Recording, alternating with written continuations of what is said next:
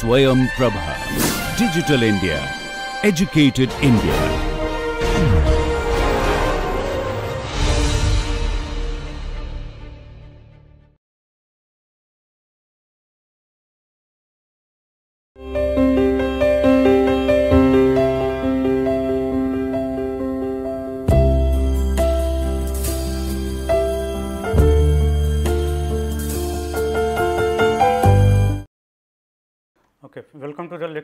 Lecture 41. Uh, we have been working with the spin stabilization, we will so we'll continue with this. So, last time we have derived these two equations. So, what we have done that theta 1 and theta 3 we have converted in terms of alpha 1 and alpha 3. So, the difference between theta 1 and alpha 1 it is not very large, okay, uh, but thereby we have been able to eliminate the periodic coefficients from the equations for the differential equation for which was involving theta 1 double dot and theta 3 double dot. So, uh, these things we have eliminated. Now, these two equations it is quite easy to solve. Uh, let us first write it in a matrix format, so that we can discuss few things.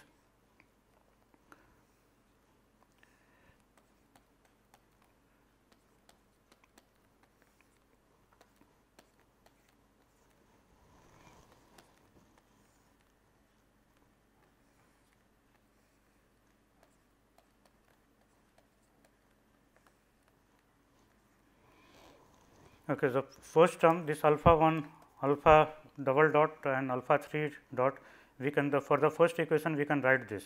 You can see that if we multiply this matrix, so it will come as alpha 1 double dot which is in the first equation. Similarly, we should get this term. So, here we will have minus 1 plus k times omega s plus 2 omega 0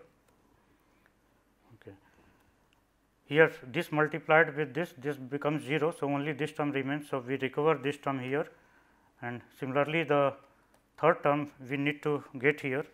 So, for the third term we will write here in this place. So, this is 3 k minus 1 omega 0 square minus 1 plus k omega s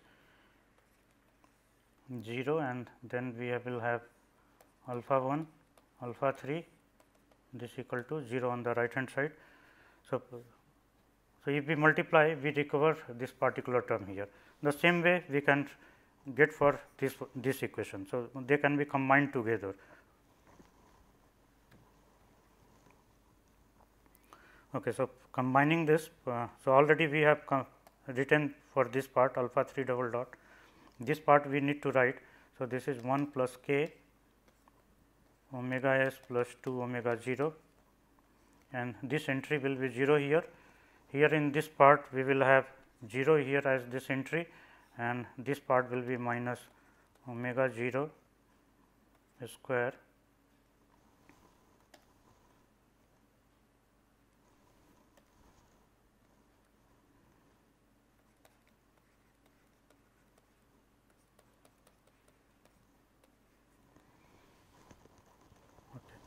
So, if we look into this equation, so it appears something like A times plus B times d x tilde by dt plus C times x tilde where equal to 0, where x tilde is alpha 1 alpha 3.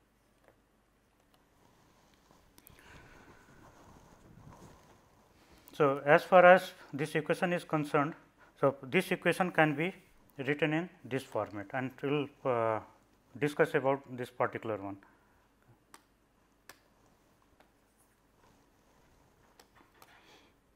So, we write this as x tilde double dot plus b times x tilde dot plus c times x tilde this equal to 0.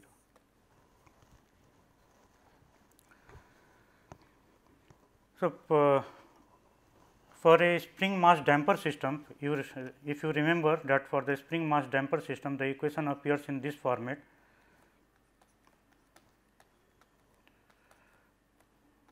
B times C times x tilde. So, it appears in the same format, but there is a difference. Okay. This term in the this is for the spring mass damper system, the spring mass damper. So, this B term is indeed this is the dissipative term. Okay.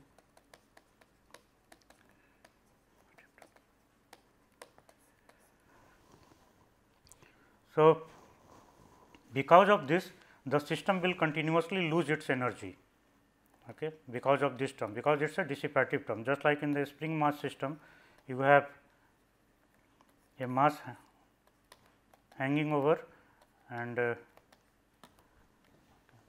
so, this is the mass. So, for this you can write this equation this is the k the spring constant for this and damping coefficient we can write as b here. Okay. So, uh, how do we write this equation m times d square x by dt square this we write as minus k x minus b times x dot.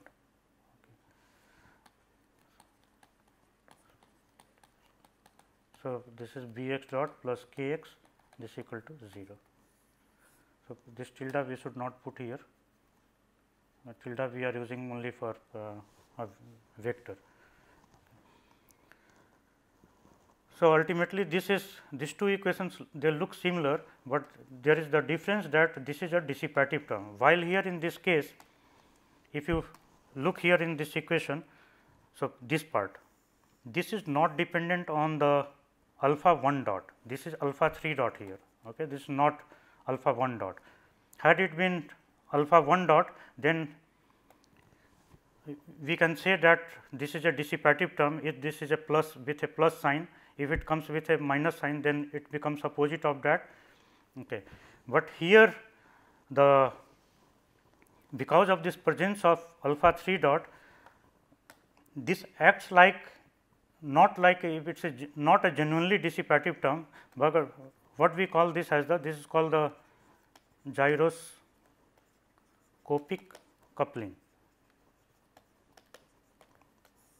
Okay. Now, let us look first into the just spring mass system. Okay, so, if we write equation for this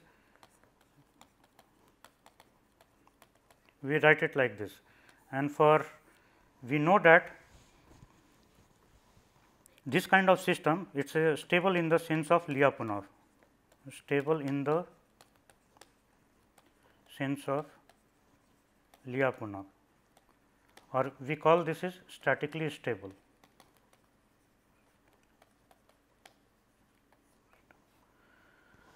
This kind of system it is also called it is a marginally stable. Why we are calling this as the statically stable? Because as soon as you displace this system from this position to say some other position here, okay, it is a displaced here. So, immediately a restoring force is generated. So, earlier also we have discussed that say uh, if I have a ball like this and in there we are putting a ball. So, if I displace it here, so immediately the restoring force is generated. So, similarly here once I am displacing it, so the restoring force is generated. So, this kind of system we say that it is a statically stable system and uh, in a broader sense we call this is this is stable in the sense of Lyapunov. Now, you might have heard or you might not have heard about the Lyapunov stability analysis, but it says that if a system uh, let us again take uh, for a simple case like I have a pendulum here and this pendulum I if I displace it here in this place. Okay. So, over a period of time this pendulum will oscillate and it will come back to this position. So, what is happening exactly? This comes to this position over a period of time because of the presence of this particular term. Okay. This is a dissipating term. So, here it continuously loses its energy and therefore, it returns back to the original equilibrium position. So, this kind of system we say this is asymptotically stable. Asymptotically stable means as t tends to infinity, okay, your disturbance let us say this is the theta or delta theta, this is the disturbance you have given. So, delta theta this will tend to 0 means it will return back to the equilibrium stage. Okay. And equilibrium already we have defined, this is defined as the stationary state of a system. Okay. So, this system is asymptotically stable. This system is also asymptotically stable because there is a damping term present here, but here the system we are discussing there this is the gyroscopic coupling term, this is not the actual damping term. So, this type of system this is not asymptotically stable. Okay. In the asymptotically stable there is a dissipation of energy just remember.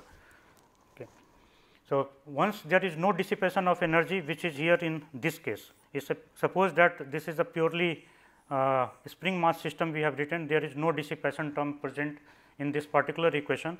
So, what happens once you disturb it and leave it. So, theoretically it will keep oscillating for the whole life assuming that there is no air resistance or there is no dissipation of heat in the spring. Okay. So, if there is no dissipation of heat in the spring, so we have the or either the air resistance is not present. So, this dissipation term is absent only these two terms are present here. So, this kind of system it is called marginally stable means the poles of this system on the real and imaginary axis if we plot. So, it will lie on the imaginary axis and uh, this will keep oscillating for the theoretically this keeps oscillating for the whole life. Okay. But in reality here for this particular system it so happens that the energy dissipates and therefore, it uh, returns back to. So, we need to add one particular term here b times x dot we have to add it here okay, for making a uh, real representation of the system okay, though damper is not present. Okay. So, here if we are putting a damper here, so this is just a modeling of this resistance. Okay. Energy is getting lost into the this spring and then the energy is getting dissipated because of the motion uh, which is due to the air resistance. So, all those things can be modeled through the this b times x dot term. Okay. But in practical many of the systems are such that if the poles are on the imaginary axis here. So, they absorb energy from the environment and these poles move into the right half complex plane and therefore, this kind of system mostly they become unstable. While here in this case while we are discussing this, so this kind of system in practical sense it will be stable because once you disturb it. So, it will oscillate oscillate and slowly slowly energy will get dissipated in the spring and in the form of heat and also there will be aerodynamic resistance because of that the motion will die out. So, it will lose its energy. So, in the Lyapunov stability analysis, we define a positive function say V x tilde where x tilde is the state of a system. Okay. So, this system this is greater than 0 for all x tilde is the x tilde not equal to 0 and V 0 this equal to 0. So, basically this is a positive definite function.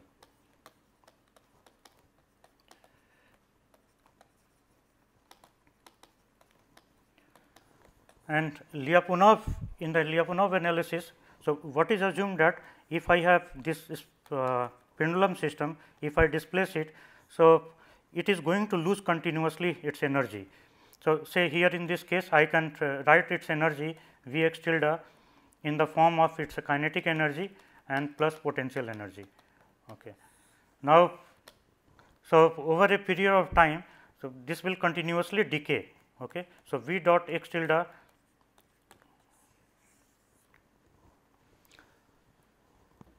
is less than 0. So, we will say that the system is asymptotically stable.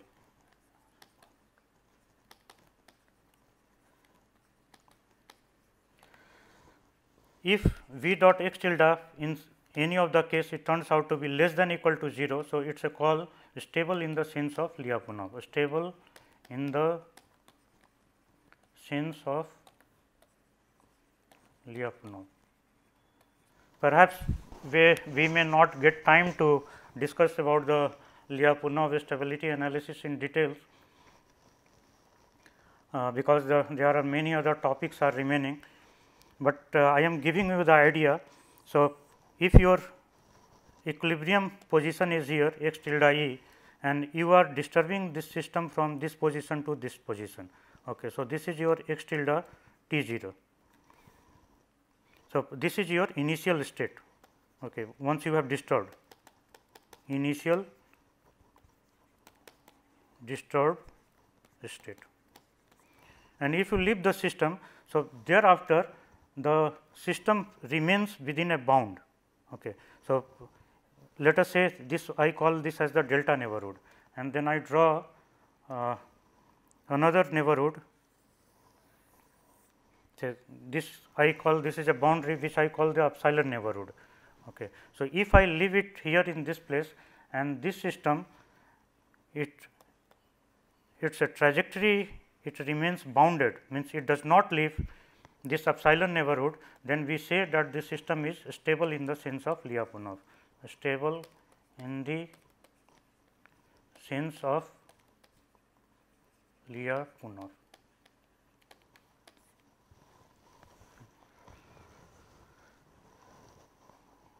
So, what we have observed that if this is the energy function. So, energy function if the energy is getting dissipated means this should be dV by dt getting this V is getting dissipated. So, it implies this quantity must be less than 0 okay, because it is a continuously decaying, but it so happens that sometimes it may not decay also. So, in that case we write this as dV by dt this is less than equal to 0. Okay. And if dV by dt this equal to 0 means the your energy is not decaying at all. So, whatever you wherever you have disturbed it, so that disturbance will not die out. Okay.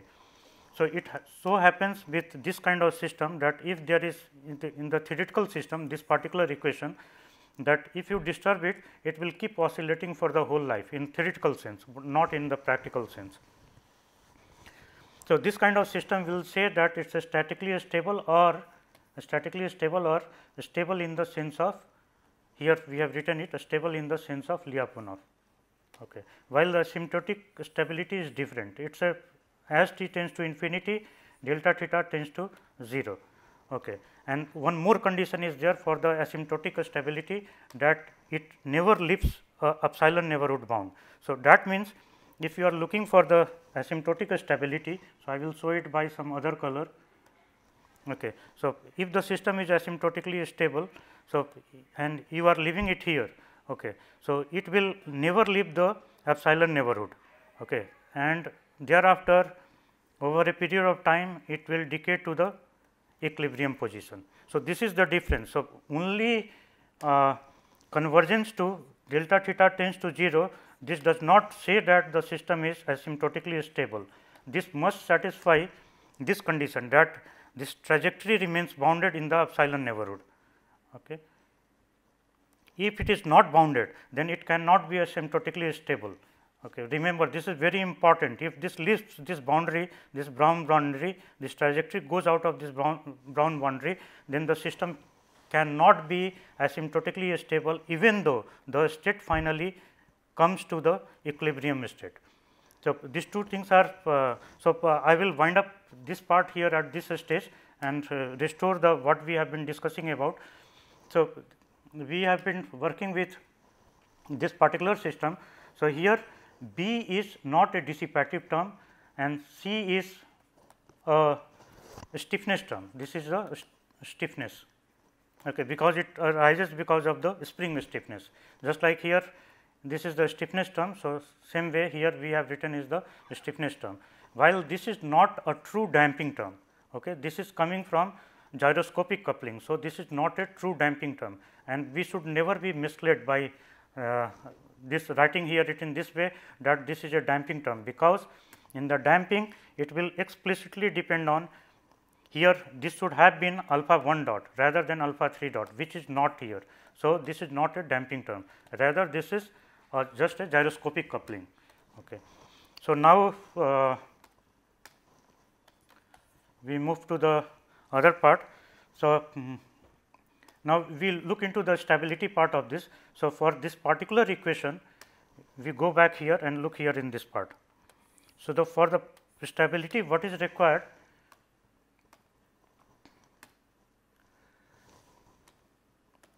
that C this C is a matrix okay C is a matrix. So, this matrix should be greater than 0 means it is a positive definite matrix.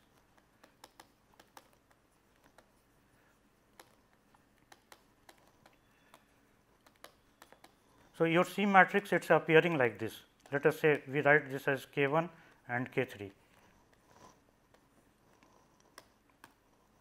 Look here in this place, uh, this term we can write this as the K 1 okay, and this particular term we can write as K 3. Okay. So, if we write it this way, so this is must be greater than 0. If we write it like this, so this implies that this is a positive definite matrix. This should be a positive definite matrix. So, and for positive definiteness, what is required that k 1 should be greater than 0 and k 1 0 0 k 3 this determinant this also should be greater than 0. That means, all the principal in any matrix if we are working like this. So, all the principal minors, all the principal minors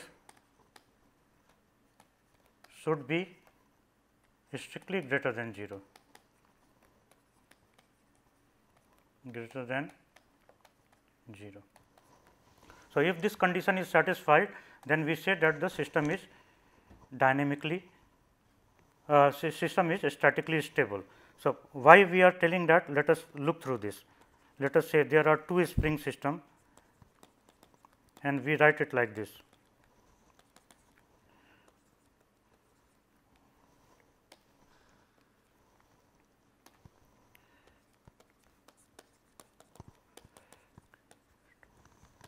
And if we try to combine it together, so how it will look like? Okay, 1 1 0 0 and here x 1 double dot x 2 double dot plus here we write here k 1 and this we write as k 2. So, k 1 k 2 0 0 x 1 x 2. Obviously, here in this case it is a decoupled, okay, but we can get the stability notion from this place. So, for stability what is required? This will be stable in the sense of Lyapunov as you know that the poles are lying on the imaginary axis. So, uh, or we said this is statically stable. So, uh, if this sign is plus here, okay, only then this will be stable otherwise it will diverge if there is a minus sign here in this place. So, it will diverge similarly here there is a minus sign it will diverge so, what is required that both these signs should be positive. Okay. So, that implies that not only the k 1 should be greater than 0 and k 1 k 3 is also greater than 0. So, if you look from this place this implies this k 1 k 3 is greater than 0.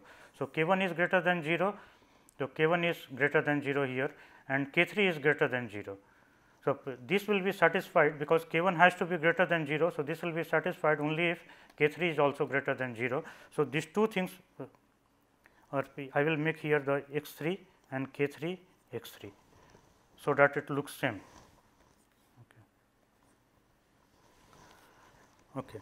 So, uh, from this place it is a clear that k 1 and k 3 must be greater than 0 and if we look through this part. So, here also this says that k 1 should be greater than 0 and this quantity should be greater than 0 which gets reduced into this format which gets uh, tells that k 3 should be greater than 0 which is indeed the thing. Okay. So, if your C matrix is positive definite then your system will be statically stable this is one way of saying it otherwise you say that it's a it's a better to say it's a stable in the sense of Lyapunov okay it's a more appropriate to say that a stable in the sense of Lyapunov because it is a dynamical system. Okay. St statical stability it is always related to that the restoring force is available, it conveys only that meaning. Okay. So, this system is stable in the sense of Lyapunov. So, now we go back to this part. So, here if C is greater than 0, so if this part this particular matrix if this is positive definite then we get a system which is stable in the sense of Lyapunov. Okay. Okay, but this this part we will discuss little later on. So, for this we need to define those conditions.